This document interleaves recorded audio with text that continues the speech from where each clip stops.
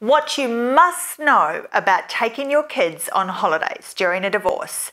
Welcome back to my channel, and if this is your first time, I'm Lisa Dixon and I'm your divorce expert.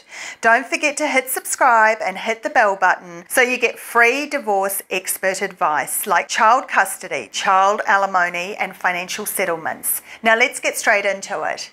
Now, I took my kids to Disneyland and I took them to the Gold Coast as well, but it's really, really important that you get a grip of what you can do and that you can do a lot of things and you can take them on holidays. So let's get right into it. Number one, Number one, local travel is much better. Now, it's much better in terms of being able to get approval. It's much better in terms of not having to go through so much rigmarole to get it through. Number two is overseas travel. Now, this is where it gets tricky.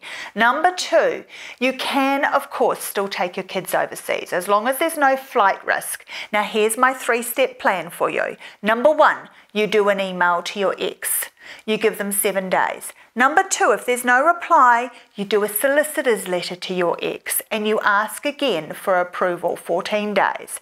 Number three, you lodge it with your local court. Now, always there is a predominant precedent that the judges will allow you to take the kids overseas. They will. If you're not a flight risk, which 99.9% of cases are not, you can take them overseas. And it's really easy to lodge it yourself. You don't need to spend a lot of money to go to court and put in an application to take your kids overseas. So, th- so those are the three simple steps that I'm advising you on how you can get your ex's approval for overseas travel, and you can do it.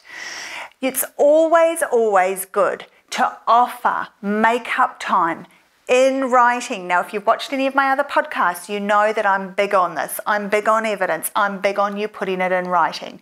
Journal it, put it in an email, put it in a text message, all of those things, put it in a lawyer's letter. These are all evidence. Evidence in terms of the fact that you've followed the procedures and you've asked for permission. And it's really, really important because you're not going to get turned down. The number of cases that actually get turned down for travel are very, very small. Now, another point about passports. Passports, I like to keep my kids' passports. There's also something you need to be aware of, and this is in any of the countries, wherever you're listening from, whether you're listening from the UK, Australia, New Zealand, the US, Canada, Wherever you're listening from today, there are a lot of government restrictions around passport applications. So be really, really careful around that.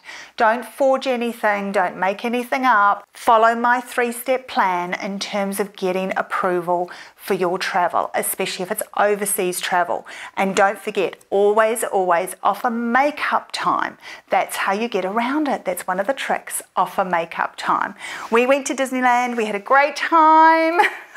Spent far too much money, ate far too much, of course. It was all on the credit card that we had to pay off. Oh my gosh.